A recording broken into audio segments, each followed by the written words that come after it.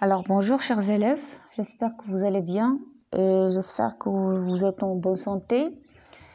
Euh, on va continuer euh, toujours euh, notre révision et on va continuer notre soutien.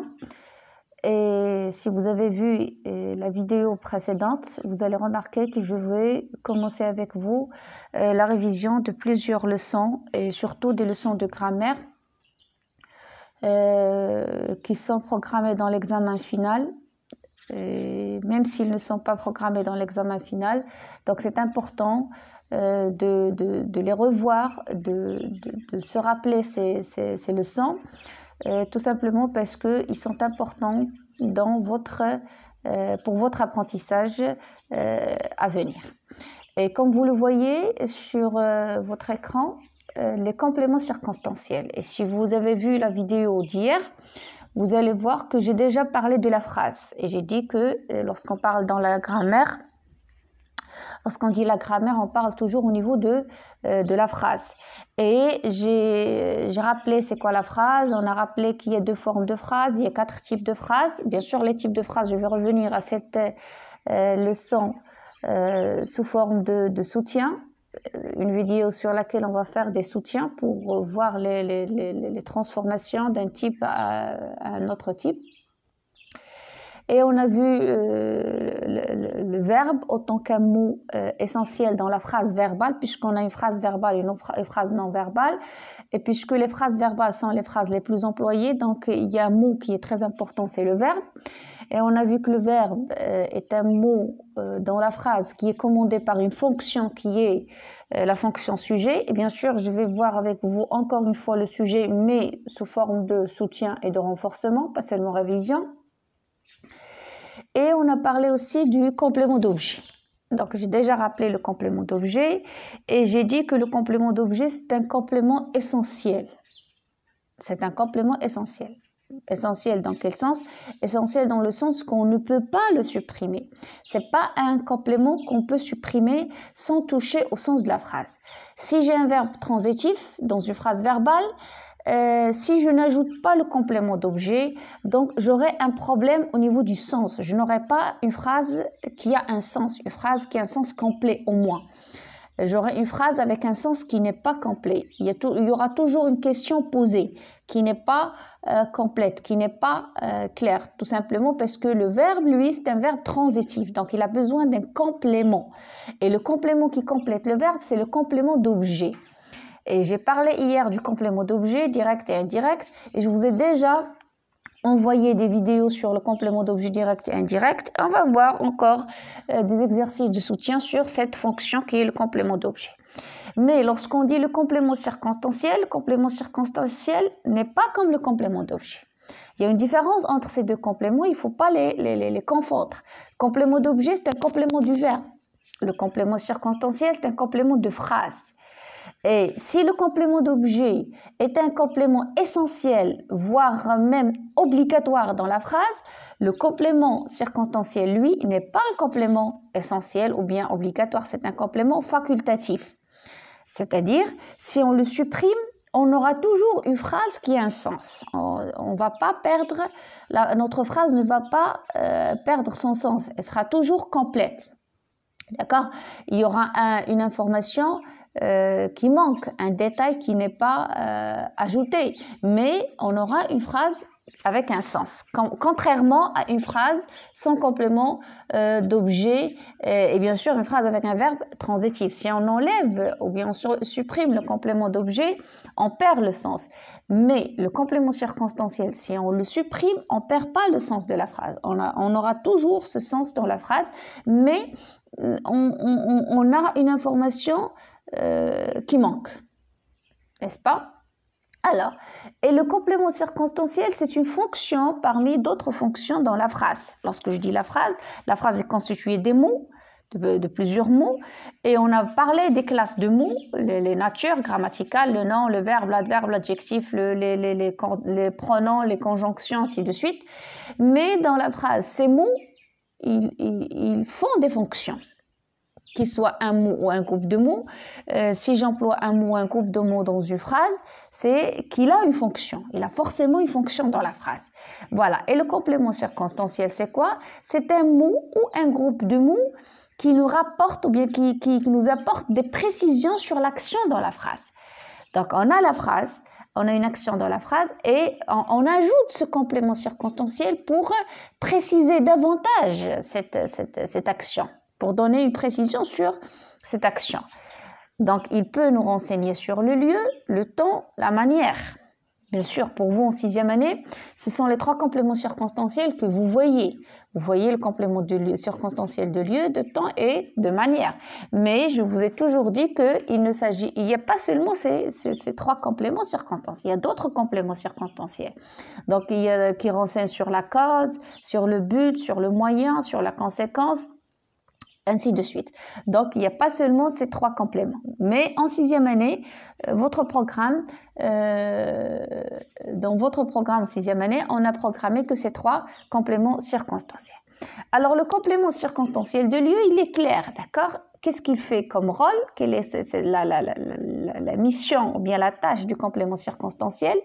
Alors, il précise l'endroit où se déroule l'action.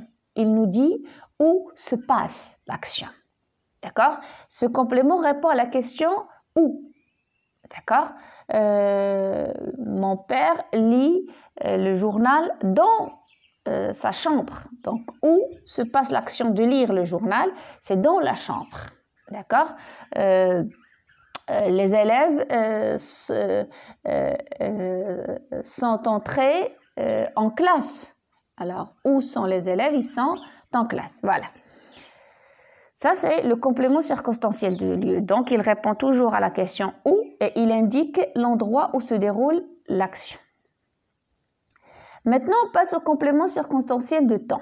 Donc, quelle est la fonction de ce complément? Quel est son rôle dans la phrase? Donc, il indique le moment, le moment où l'action se déroule. Si le complément de lieu indique l'endroit, le complément de temps indique le moment le temps, comme son nom l'indique. Donc le temps, il indique le moment. Alors, c'est le complément circonstanciel de temps, d'accord? Euh, Le complément circonstanciel de temps, il répond à la question quand. D'accord? Nous partirons ce soir. Quand partirons-nous Donc, nous partirons ce soir. Nous partirons quand? Donc, la réponse est ce soir. Ce soir ici, c'est un complément circonstanciel de, lieu. Donc, ce groupe de mots est un complément circonstanciel, pardon, de temps euh, pour euh, le verbe partir. Il indique quand euh, se passe cette action, le moment où se passe l'action de partir. Donc l'action de partir se passe ce, ce soir. Puis on a le complément circonstanciel de manière. Et ce complément, il renseigne sur la manière dont se déroule l'action. Il nous dit comment se déroule l'action. Donc il répond à la question comment. Pierre étudie consciencieusement. Donc, comment? D'une manière consciente. Donc, euh, consciencieusement est un complément euh, circonstanciel de manière. Cet adverbe indique la manière. Donc, je peux prendre un autre exemple. Par exemple, Sarah crie joyeusement. Donc, comment euh, l'action de crier, comment est cette, cri, cette action de crier? Donc, elle est joyeuse. Donc, euh, euh, il, crie avec joie, donc joyeusement. Donc, euh, la manière. Voilà. le complément circonstanciel, voilà ce qu'il faut savoir sur le complément circonstanciel. Donc, si on sait qu'il est, qu'il renseigne sur le temps, le lieu, la manière et bien sûr but, cause, ainsi de suite. Alors, qu'est-ce qu'il faut savoir et ne pas oublier sur le complément circonstanciel? Donc, le complément circonstanciel, euh, peu. Normalement ici, c'est peu parce qu'il fallait écrire les compléments circonstanciels peuvent. Donc il manque un, euh, S. Il y a un problème ici, mais je l'ai dit, voilà. Donc des fois, on ne fait pas attention lorsqu'on prend ces, euh, ces, images ou bien ces photos, mais ce sont des fautes qui, qui, passent, d'accord? Ici, ou bien on va dire le complément circonstanciel peut, ou bien les compléments circonstanciels peuvent. D'accord? Et si on va dire peuvent être déplacés, donc on va ajouter un S. Mais je préfère, moi, ici, changer seulement le, le, le, verbe. Donc, le complément circonstanciel peut être déplacé ou supprimer sans changer le sens de la phrase. Voilà, c'est ce que j'ai dit. Donc sans changer le sens la phrase. Même si je le supprime, même si je le déplace, j'aurai toujours euh, une phrase qui a un sens. Exemple 1. Au printemps, la pluie, au printemps, la pluie tombe. Alors, le complément circonstanciel de temps au printemps peut être euh, transformé ou bien peut être déplacé en la pluie tombe au printemps. Vous voyez, et on aura le même sens. Et même si on la supprime, même si on dit la pluie tombe, on aura toujours une phrase. On sait que la pluie tombe. D'accord? Bien sûr, et il manque cette indication, bien sûr, renseignement sur le temps quand tombe la pluie, mais on ne perd pas le sens de la phrase. Exemple 2, en écoutant son professeur, il progressera chaque semaine. Donc le complément circonstanciel de temps chaque semaine peut être supprimé. Donc en écoutant son professeur, il progressera. Et on aura toujours une phrase. Donc ce sont les deux notions qu'il faut garder dans la tête pour le complément circonstanciel. C'est un complément qu'on peut déplacer et c'est un complément qu'on peut supprimer. Voilà pourquoi on dit que c'est un complément facultatif. D'accord? On l'ajoute pour ajouter un, un renseignement, pour ajouter un détail, une information. Et même si on le supprime, on a toujours une phrase qui a un sens. Alors, qu'est-ce qu'il faut retenir En fin de compte, il faut retenir, voilà, ça l'essentiel, c'est ce qu'il faut retenir. Il faut retenir que le complément circonstanciel est un groupe de mots qui apporte des précisions sur les circonstances de l'action le temps, le lieu, la manière, aussi le but, la conséquence, la cause, le moyen. Généralement, il peut être supprimé ou déplacé.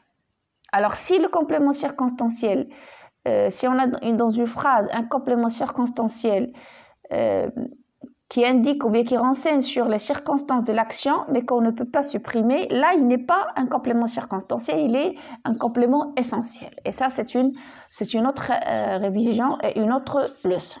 D'accord? Voilà. J'espère que cette révision était utile pour vous. J'espère que vous allez voir cette vidéo et vous rappeler le complément circonstanciel et son importance. Merci pour votre attention. Bon courage à toutes et à tous. Au revoir.